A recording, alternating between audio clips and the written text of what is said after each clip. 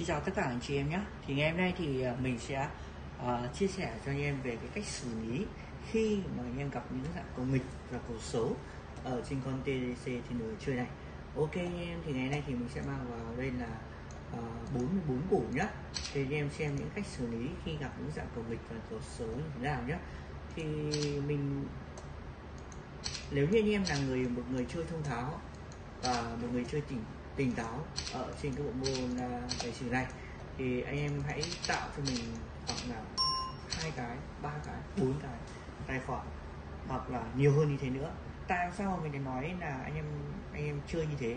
Bởi thường thường ấy, trước khi mà anh em vào, nếu mà anh em là người chuyên nghiệp, thì anh em vào, trước khi anh em vào một cái gọi là cuộc chơi ở trên cái bộ môn tài xỉu này, thì anh em phải là cầm hai cái click nhé lúc nào trên hai cái click đấy, anh em vẫn vẫn phải gì? Anh em phải có lúa anh em phải có lúa hai lít đấy.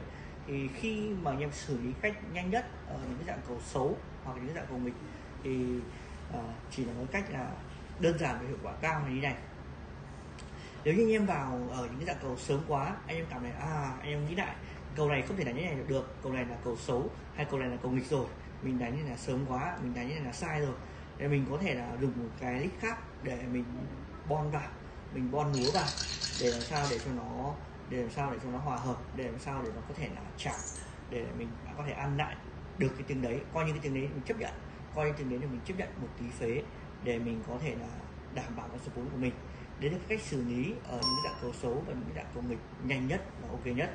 Còn còn một cách nữa, cách này thì nó cũng đi đơn giản mà anh em không cần phải là dùng đến không cần ờ, dùng đến ờ, cần dùng đến ờ, đến cái hai lít mà anh em chỉ cần dùng một lít thôi. Nhưng mà cái cách này thì anh em theo mình, em chơi thì anh em nên vào những giây cuối cùng, vào những giây cuối cùng, đấy. Nhưng mà vào những giây cuối cùng thì nó cũng có có nhiều cái bất lợi. Ừ. Tại sao mà mình lại nói là có nhiều cái bất lợi? Bởi vì là khi mà anh em chơi mà anh em vào ở những giây cuối cùng như vậy, thì đây, ví dụ như dây này dây này hạn đây ví dụ vào cái dây này là cái câu là câu này.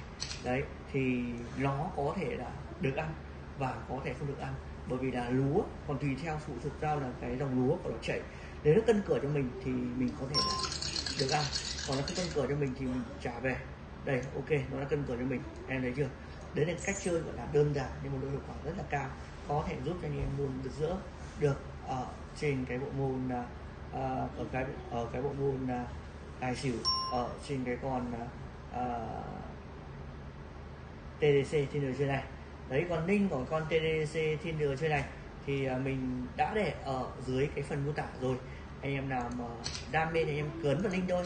Đấy thì cái chơi của mình thì vừa rồi thì mình cũng hướng dẫn cho anh em những cái phương pháp gọi là để có thể là cho giúp cho anh em có thể là đánh ở những dạng công nghịch và xử lý ở những dạng cầu xấu để làm sao cho nó hòa hợp để làm sao có thể là chiến thắng để làm sao có thể là rực rỡ. Em thấy chưa? Đơn giản nhưng mà độ hiệu quả rất là cao. Đấy là cũng, cũng là một cái cái phương pháp cái mẹo đánh và những cái mẹo chơi ở trên cái bộ môn tài xỉu nhá. Cái mẹo này thì thực sự tất cả anh em là cũng nhiều người anh em sử dụng rồi. Đấy những anh em nào mà thực sự chuyên nghiệp chuyên môn kiếm lúa kiếm lúa ở trên à, bộ môn à, tài xỉu này đấy công việc chính của tất cả anh em là dùng bằng cái đầu óc để có thể là kiếm lúa được ở trên đây thì anh em hay làm theo những cái phương thức đấy. Đấy, thì anh em thấy chưa? Mình từ nãy giờ mình đánh ấy, thì mình không bao giờ đánh những dây đầu là một. Đấy, mình chỉ đánh những dây cuối. Mình nên là mình dùng một lít mình chỉ đánh những dây cuối thôi. Thì đấy là những dây cuối nó sẽ ok mình sẽ ổn định hơn. Tại sao mình nói là đánh những dây cuối là ok ổn định hơn? Bởi vì tất cả các đường cầu, khi mà nó về những cái dây cuối cùng rồi thì nó đều sắp xếp là kết quả rồi nha bạn. Nó sắp xếp kết quả rồi nên là mình đánh ở những cái giai đoạn đấy thì nó không có gọi là bot đổi cầu. Nên là mình không nó không có thể là đổi cầu của mình. Nên là anh em chơi ở những giây cuối cùng là ok nhất. Thì thường thường mình vẫn nói với anh em mà những nói anh em là mình vẫn chia sẻ và mình vẫn nói anh em là dây nào là nên vào là ok. Và vào lúa ở những cái khoảng thời gian nào ổn áp nhất. Đấy thì cũng có nhiều anh em hiểu vấn đề này mà đúng cho anh em? Đấy. Còn à, nếu như anh em nào không hiểu về những cái phương pháp của mình thì anh em có thể là liên hệ với mình. Mình có thể là chỉ cho anh em một vài cách để cho anh em có thể là tự chơi và có thể là tự đánh, và cũng có thể là tự chiến thắng được ở trên cái này. Em thấy là mình đánh ba tay đầu là ăn đúng như anh em. Đấy, rồi tay này ăn không? Tay này gãy này. Đấy, tay này là tay bịp này. Đấy, tại sao không phải là tay bịp mà tay này tay nghịch này? Đấy, tại sao mà mình nói nghịch? Đây, em nhìn đây 644 đây chặn đây chặn lại ra cầu gì chặn lại ra lại ra tiếp. Cái này, tiếng tiếng chặn tiếp thì mình có thể đã đánh được vào, đánh được vào cầu xỉu rồi chặn tiếp đây. Mình có thể đánh được cầu xỉu nhá thì chúng vừa rồi thì mình đánh bốn củ thì cái này thì mình sẽ đánh lại 6 củ để lấy lại nhé. đây hiện tại bây giờ mình vẫn đang trong cái thời, trong cái khoảng thời gian trong cái khoảng là mình vẫn đang có lời nhá. Mình vẫn đang có lời ở cái bộ môn này đúng không anh em? Đấy từ đầu mình số 4 đang vào và bây giờ thì đến cái đến cái thời điểm bây giờ thì mình vẫn cứ ăn mà. Nên là mình cứ đánh sao là mình cứ nhắc một cái hai thôi. Đánh mình cứ đánh đến đâu thì mình cứ đánh theo cái kiểu là đánh đến đâu vào chắc đến đấy. Đấy không cần phải là tay nào mà cũng đánh đều tay mà tay nào đánh căng. Nếu mà đánh như thế thì người thiệt thòi là mình chứ không phải là nhà cái. Nhà cái đã chẳng có thiệt thòi gì cả nhà, nhà cái đã không thiệt thòi gì nhá. Nhà cái chỉ tạo ra những cái trò chơi để gọi là kiếm phế thôi. Còn đâu mà tỉnh táo hay không và uh, ờ, dẫn đến cái sự chiến thắng là do anh em hết chứ nhà cái không tạo ra cho anh em cái sự chiến thắng. Ok em thấy chưa? Đấy chuẩn xác chưa? Đấy đơn giản đúng cho anh em. Đấy rồi tiếp tục vòng quay lại lối tiếp vòng quay nhé đấy em thấy chưa? Có phải là tay vừa rồi thì mình gãy cầu tay thứ hai thì mình đã lấy lại được không? Đấy, rồi tiếp tục là hai ba bốn này. Để hai bốn để mình xét cầu này. Cầu 11 có thể đánh cầu xỉu này có thể đánh cầu tài này. Đấy nhìn nước qua mình thấy cái tính này có thể đánh được cầu tài ok hơn. Đấy thì bây giờ thì mình lại chờ. Mình lại chờ về những cái giây cuối cùng. Đấy là cái cách gọi là xử lý tình huống khi gặp những dạng của mình và những dạng cầu xấu là đẹp nhất anh em ạ. Đấy nhé thì vừa rồi thì mình đã chia sẻ với em rồi. Nếu như anh em là cảm thấy là cái cách chia sẻ của mình cảm thấy hay thì cho mình một lượt like và một lượt follow nhé xin cảm ơn tất cả các anh chị em rất là nhiều. Đấy, rồi ok. Còn bây giờ thì tiếp tục vòng quay lại tiếp vòng quay để xem cái tiếng này xem mình đánh được cầu tài cho ban công đây mình tiếng này thì mình sẽ đánh cầu tài. Đây và đến đây cuối cùng rồi. Đấy, nhưng mà anh nên lên đến uh, tỏi bảy rồi mà bây giờ ở trên tỏi sáu rồi. Đấy mình đánh nhạc muộn thì nó cũng có nhiều cái nhiều cái nhé không phải là muộn mà rất dễ đâu, muộn bởi vì là nó không cân cửa với mình. Mà đấy, em thấy chưa? Đấy, em thấy chưa? Nó cũng có nhiều cái thiệt thòi. Đấy, ok chưa? Đấy, thế vừa rồi nếu mày đánh nó cân cửa kịp thì có phải là mình ăn không? Nhưng mà đánh những cái dây muộn nó sẽ độ chuẩn xác nó sẽ cao hơn, nhưng mà nó có rủi ro là rủi ro nó chẳng đúa về. Em hiểu chưa? Đấy. Có phải là mình nói nói đúng không? Có phải là mình chia sẻ chuẩn không?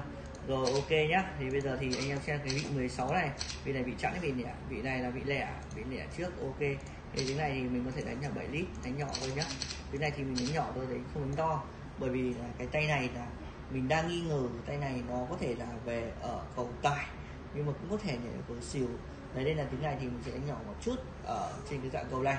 Rồi, ok anh em. Anh em xem tiếng này xem có chuẩn xác là về cái cầu tài hay không nhá link của cái con này thì mình để ở dưới phần mô tả đấy. Anh em nào thích thì anh em ấn vào link đi. Đấy tải về và chiến đấu đi. Đấy chiến đấu thì hiện tại sắp tới mùa Uzo rồi anh em ạ. Đấy trên đây có rất là nhiều uh, kèo banh bóng anh em có thể uh, có thể uh, đánh ở trên đây được nhé thì mình cũng có thể hỗ trợ cho anh em về banh bóng luôn. Mình hỗ trợ tất cả mọi thứ. Đấy mình thực sự tất cả anh em trước đây nếu mà để nói toàn thắng nhé về trang về những cái kèo ok toàn thắng cực kỳ gọi là ổn định luôn anh em ạ đấy giúp anh em rất là nhiều những anh em xa bờ nhé rồi đây hiện tại thì bây giờ là lên được bao nhiêu? 57 củ rồi.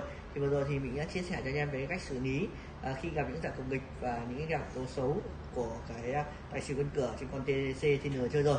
Và bây giờ thì mình đã lên được à, 57 củ thì mình xin phép tất cả anh chị em mình sẽ kết thúc và mình sẽ chốt lại nhé ok anh em xin chào và hẹn lại anh em ở những video theo. Xin chào và hẹn lại anh em nhé như em thấy ấy, thì kênh của mình ấy thì chuyên làm về cái con câu 88 này và chia sẻ những cách chơi và những phương pháp chơi trên con câu 88 và tài xỉu của 88 được đúc kết từ những kinh nghiệm của bản thân à, mình để cho anh em chơi và anh em tham khảo và chúc toàn thể anh em chơi ở trên con câu 88 này luôn thắng lớn và nhớ ở cho mình một like và một lượt à, follow ủng hộ kênh mình nhé.